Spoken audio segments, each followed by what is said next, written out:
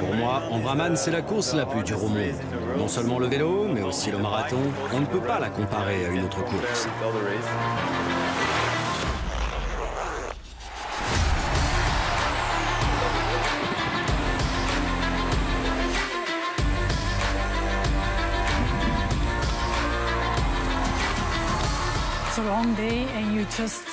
C'est une longue journée. On doit tout donner, c'est juste éprouvant.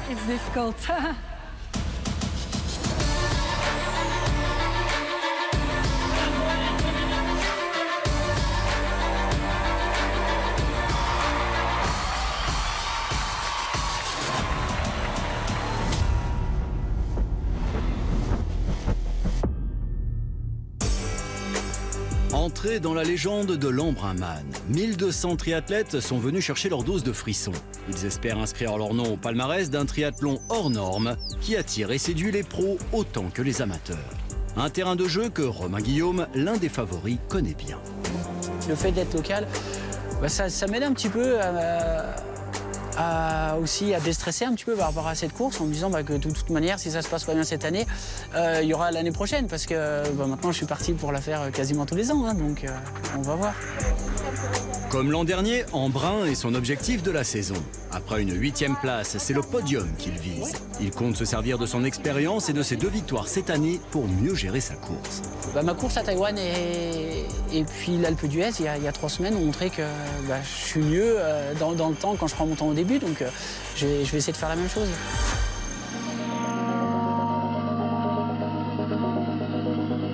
La jeune Belge Alexandra Tondeur, récemment couronnée championne du monde de triathlon longue distance, c'est une première. Elle vient découvrir le parcours.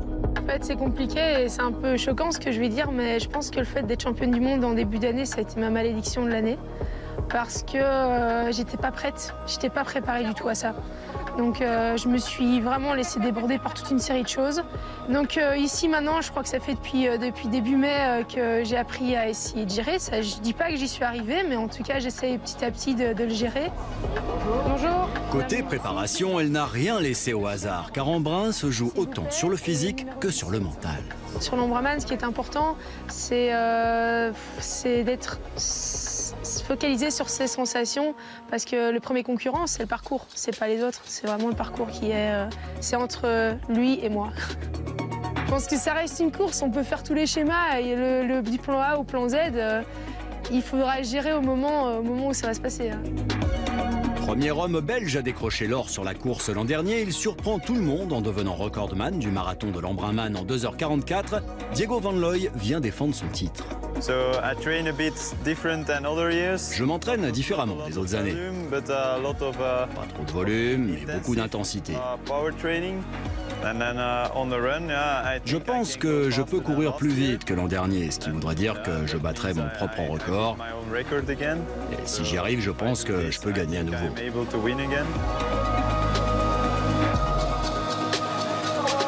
La Belgique compte de sérieux candidats à la victoire. Tine Dekers, première Belge à remporter l'épreuve en 2017, est de retour. À 41 ans, elle convoite à nouveau la plus haute marche du podium pour l'une des dernières courses de sa carrière. Je veux gagner, évidemment. more Mais je sais que ça va être euh, plus difficile parce que je is suis de plus en plus âgé et qu'il y a toujours de nouvelles adversaires qui deviennent toujours meilleurs.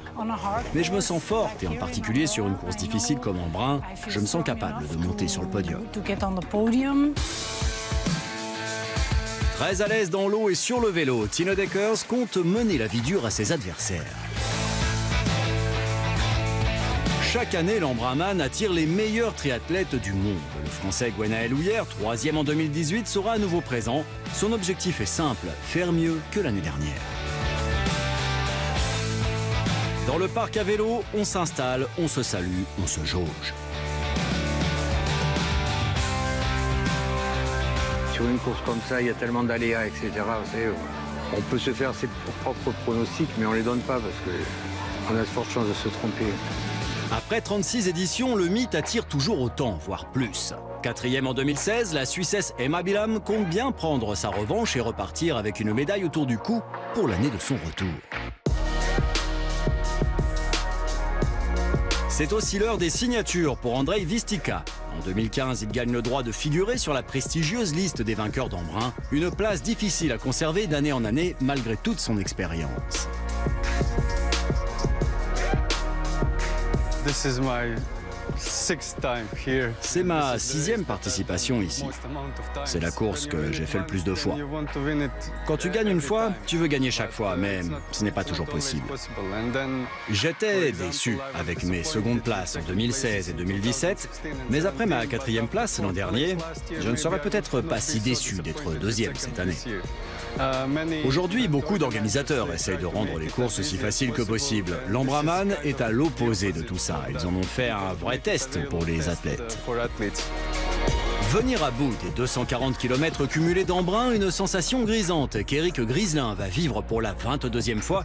Il construit sa propre légende au fil des ans. Je suis toujours très heureux d'être ici à Embrun, toujours pouvoir continuer à le faire. Même les années passant, je suis toujours aussi motivé. Bah, il n'y a jamais une routine parce que euh, sur une épreuve aussi longue, on ne sait jamais à quoi on peut s'attendre. Donc il y a toujours un peu de stress au départ. Après, c'est vrai que se dire qu'éventuellement je vais pouvoir le finir une 22e fois, ça met un peu plus de, tension de, et de, stress au niveau de la course.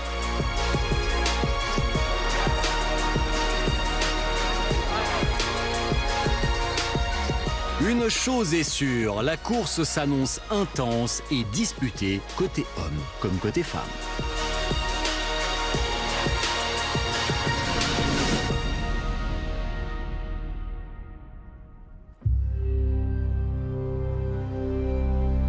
« 4h30, jour J, le parc à vélo se remplit de coureurs fébriles.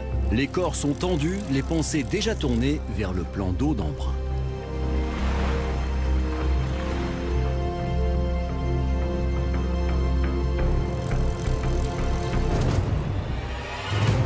Pour de nombreux athlètes, prendre le départ de l'Embraman est un rêve qui se réalise. Pour tous, il s'agit maintenant d'honorer le dossard qu'ils ont sur le dos en franchissant la ligne d'arrivée. Adrien Poulot fait partie des novices. C'est sa première participation. Il sait que la journée sera longue, mais il est impatient. J'ai hâte de prendre le départ. Hein. Maintenant, ça fait plus de six mois qu'on se prépare. Euh, voilà, maintenant, euh, c'est le jour J. Euh, hâte d'être sur la ligne de départ et profiter de 500 parce que prendre le départ d'Embrun, c'est pas donné à tout le monde. Et je pense que c'est quelque chose qui à vivre une fois dans sa vie. Parmi les vieux loups de mer, Eric, 21 éditions au compteur et pourtant le stress est toujours là à chaque départ.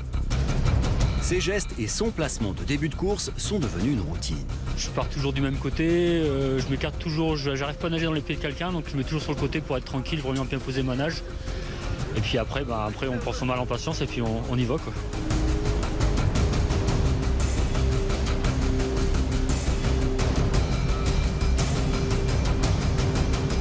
Derniers instants de calme pour les professionnels. Victor del Corral Morales et sa compatriote espagnole Judith Corrachan Vaquera sont prêts. L'heure de vérité approche. Avant la course, euh, je me sens bien. Je me suis bien entraîné et ma saison est plutôt pas mal, donc on verra ce qui se passe. C'est une longue journée, c'est une longue course, mais j'espère qu'aujourd'hui je serai dans un bon jour.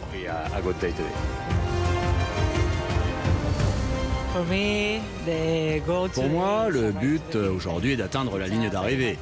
C'est une course très dure et je vais essayer d'améliorer mon résultat de l'an passé.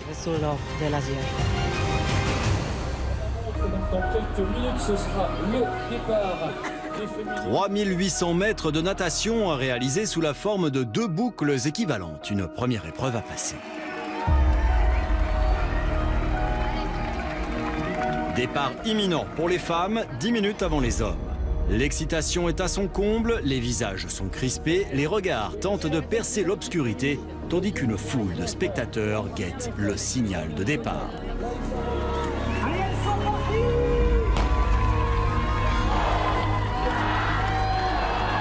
5h50, elles sont une centaine à s'élancer dans l'obscurité avec pour seul point de repère la petite lumière rouge sur le kayak de tête.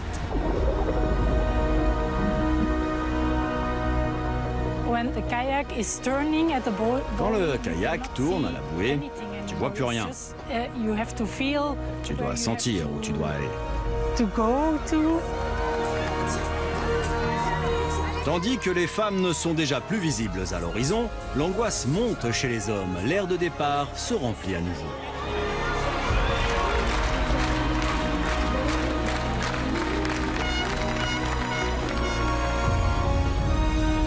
Départ en mass start et dans le noir de l'Embraman en font un moment unique qui restera gravé dans la mémoire de ceux qui l'ont vécu. L'angoisse est palpable à quelques secondes du départ.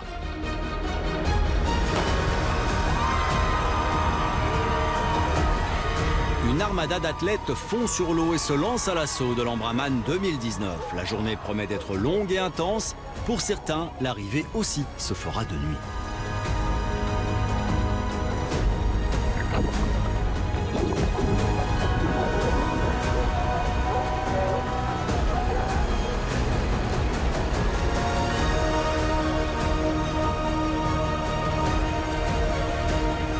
Début, l'Espagnol Judith Corrachan domine la natation. Dans son sillage, l'Australienne Meredith Hill, suivie de près par Emma Bilham et les deux Belges Tine Deckers et Alexandra Tondeur.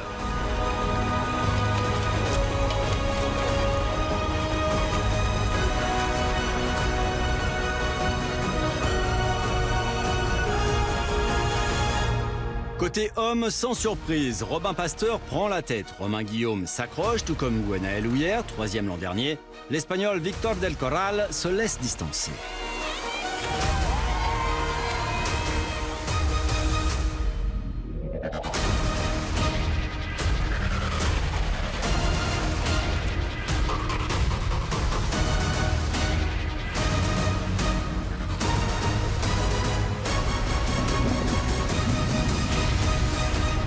Aux premières lueurs du jour, les nageurs de tête en terminent avec les 3 km 8 de natation.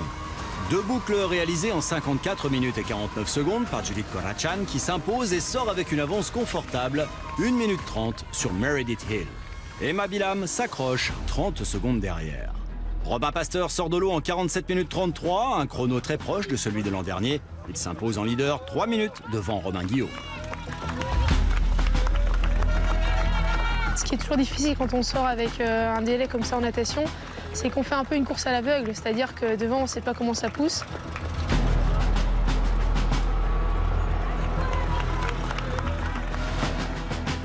À peine une minute trente de transition pour les meilleurs hommes, juste le temps de reprendre ses esprits.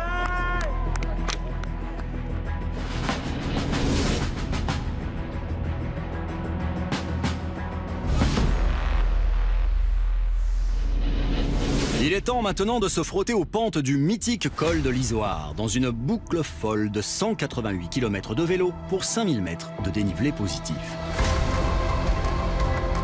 Chez les femmes, Judith Corrachan tente de prendre le large, mais à peine installée sur la selle, Meredith Hill, Emma Bilham et Tino Deckers commencent déjà à réduire leur retard. Emma Bilham a une revanche à prendre, mais pour sa première participation, l'Australienne Meredith Hill n'a pas l'intention de faire de cadeau.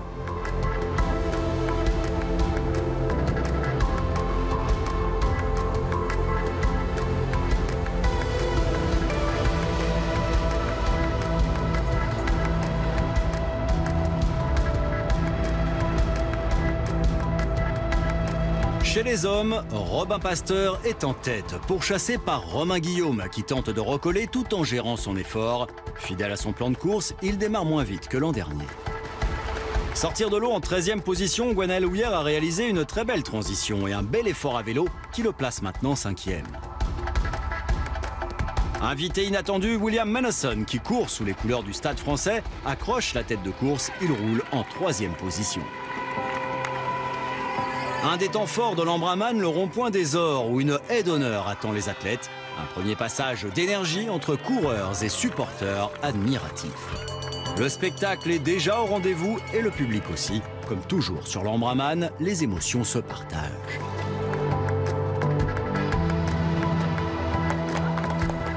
C'est un triathlon qui est particulier hein, pour, tous les gens qui connaissent l'Ambreman. On, on parle d'une messe triathlétique. hein. C'est-à-dire c'est une, véritable osmose qu'il y a entre le spectateur, le bénévole et le compétiteur. Il y a une, grosse, une ambiance spéciale. euh, C'est vrai, l'ambiance qu'il y a ici, elle est exceptionnelle. Voilà. Chez les hommes, la cadence est élevée et s'intensifie à l'approche du col de l'Isoire.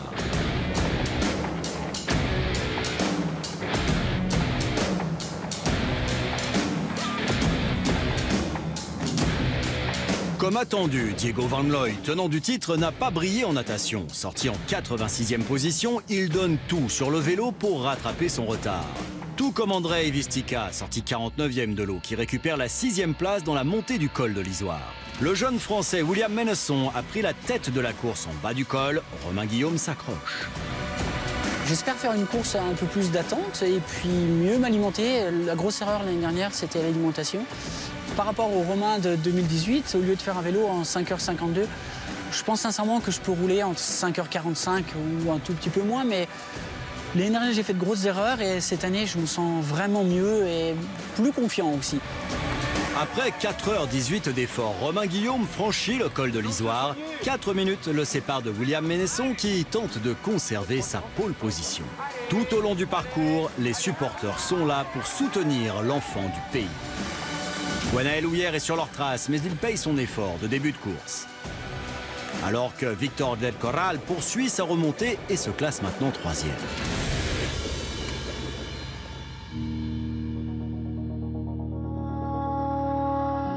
Emma Bilham monte l'Isoire en quatrième position, mais dans les lacets, on assiste à une jolie bagarre pour le podium. Meredith Hill, Emma Bilham et Alexandra Tondeur sont au coude à coude. Pour sa première participation, la jeune Belge gère son effort et tente de rester au contact sur la partie vélo. C'est dur d'évaluer, de dire bah ouais, je me sens bien parce que parfois en course, euh, t'as as de bonnes jambes, alors qu'à l'entraînement, tu te dis bah je suis pas sûr que ça va passer. Et puis parfois tout à fait l'inverse, euh, t'as de super sensations à l'entraînement, t'arrives en course, ça tourne pas quoi. En plein col de l'Isoire, Alexandra Tondeur semble être dans la souffrance. Son objectif est de déposer son vélo avec maximum 10 minutes de retard pour pouvoir ensuite essayer de jouer la gagne sur la course à pied. Judith Korachan roule désormais en deuxième position. Tina Deckers mène le jeu depuis le bas de l'Isoire. En haut du col, l'Espagnol compte 4 minutes de retard sur la Belge. Je dois être complètement à fond sur le vélo parce que je sais qu'il y a des coureuses très fortes ici. Je dois tout miser sur le vélo parce que je sais qu'il y a ici de très bons éléments en course mais que je peux faire la différence. C'est cool, il y a du monde, c'est très sympa. Météo parfaite. C'est tout parfait. I'm on a bleached white beach. And I'm staring out to sea. Je vais pas me dire que le plus dur est fait, parce qu'il en reste quand même un bon wagon. Les gens sont super sympas, bonne ambiance. But I got everything I need. I got everything I devant, William Munson s'envole et creuse l'écart. Il s'apprête à signer le meilleur temps chez les hommes. Dans la descente, Victor Del Corral double Romain Guillaume et se place deuxième. Pour le coureur d'Embrun, la course devient difficile. Romain Guillaume concède deux places dans la redoutée côte de Palon. Il est maintenant cinquième. Quelques secondes devant, Andrei Vistika gère sa course pour attaquer son marathon dans les meilleures conditions. Il peut encore faire la différence. Le Belge Timothy Van Houten signe une remontée spectaculaire avec le second chrono. 55e à la sortie d'eau, il est maintenant troisième, tandis que Gwenaël Houillère terminera le vélo en septième position.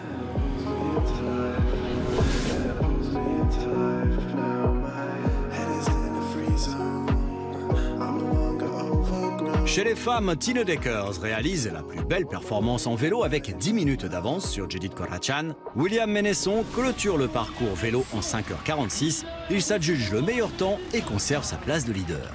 Victor Del Corral est second, Timothy Van Houten troisième.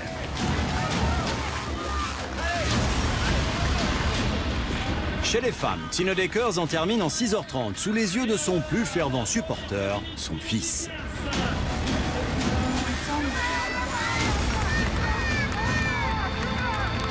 Judith Korachan démarre la course à pied en seconde position avec 6 minutes de retard sur sa concurrente belge.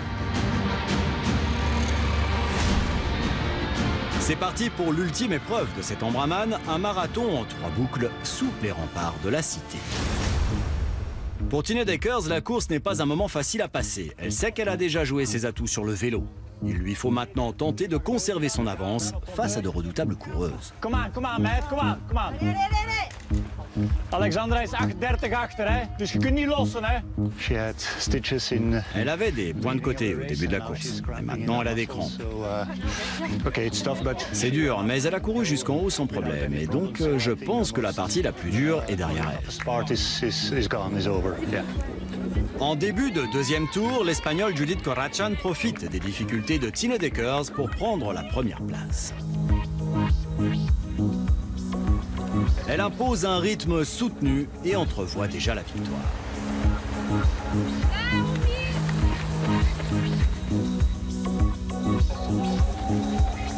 Quatrième, l'Australienne Meredith Hill assure un bon tempo mais ne parvient pas à revenir sur la troisième. Alexandra Tonder souffre à chaque foulée. Elle n'a pas assez mangé pendant la course. Malgré tout, elle maintient sa troisième place. Emma Bilam est cinquième. Quatrième en 2016, elle voit doucement sa revanche s'envoler.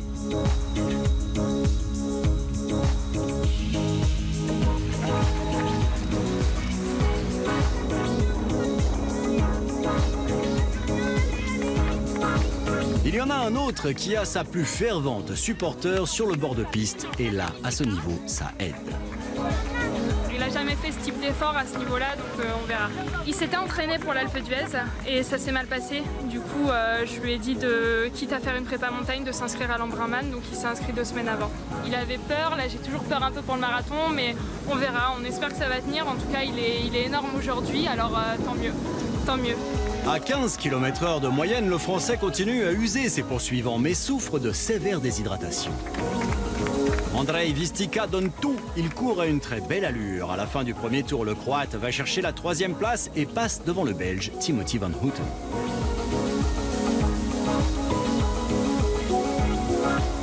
En ligne de mire, l'Espagnol Victor Del Corral, bien accroché à sa deuxième place depuis Briançon. Andrei Vistika ne faiblit pas, il se souvient du goût de la victoire en 2015. Il sait que sur Embrun tout est possible et gagne du terrain sur l'Espagnol et le Français. À deux doigts de l'abandon, Romain Guillaume tient bon, porté par les encouragements de ses proches. Il concède sa cinquième place sur le troisième tour. Pour le Belge Diego Van Looy, c'est la désillusion. Le vainqueur de l'an dernier craque au milieu du deuxième tour. Archi favori et attendu sur la course à pied, il abandonne. Son corps a dit stop. Ah, malheureusement, j'ai pas mon, mon jour aujourd'hui. J'ai pas de, de jus dans ma jambe. je décide pour terminer mon course.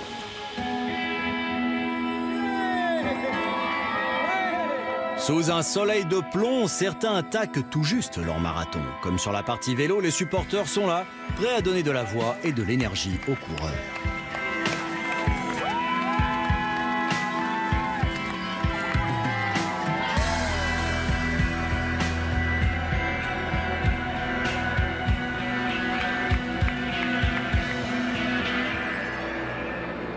William Ménesson, c'est la délivrance au bout de 9h48 d'efforts.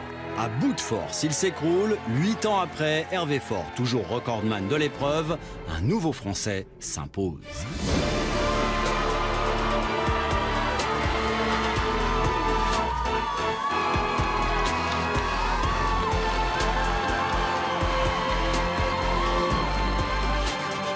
De partir de loin, monter à mon rythme en me disant on verra bien. Je suis dans mes watts, je suis dans ma zone, a priori ça devrait bien se passer, on verra bien. Et c'est passé, euh, ça aurait pu casser et qu'est-ce qu'il faut dire le marathon euh, En bras c'est jamais trop, c'est tellement long qu'au final c'est un peu un coup de poker ici. Donc, euh, cette fois-ci c'est passé, ça veut pas dire que ça passera la prochaine fois. 4 minutes derrière, Andrei Vistika vient à bout du mythe pour la sixième fois. Il est second.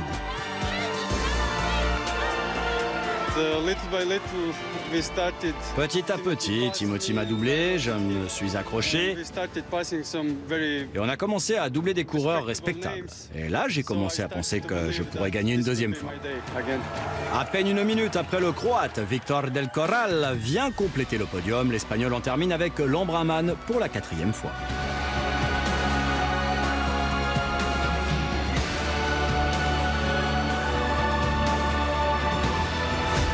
Le Belge Timothy Van Houten est au pied du podium devant le Néo-Zélandais Dougal Hallan. Romain Guillaume et Gwenaël Houillère terminent respectivement 6 et 7e. Judith Korachan s'apprête à franchir la ligne en 10h54. Après sa troisième place l'an dernier, l'Espagnol savoure sa revanche.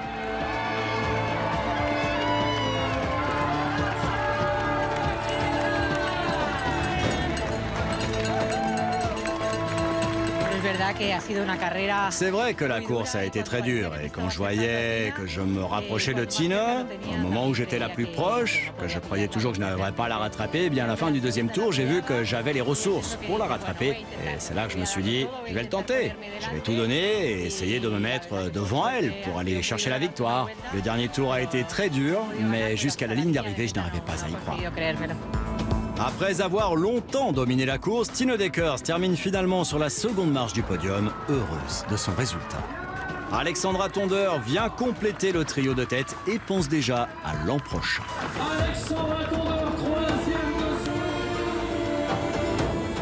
Pour Emma Bilham, la revanche ne sera pas pour cette année. Après sa quatrième place en 2016, elle termine cinquième derrière Meredith Hill. L'américaine Lisa Roberts, qui s'était préparée pour la course, est sixième. Pour les amateurs, l'important n'est pas le chrono, c'est plutôt le passage de la ligne d'arrivée. L'émotion est vive quand on est finisher. La fierté de l'avoir fait se lit sur les sourires.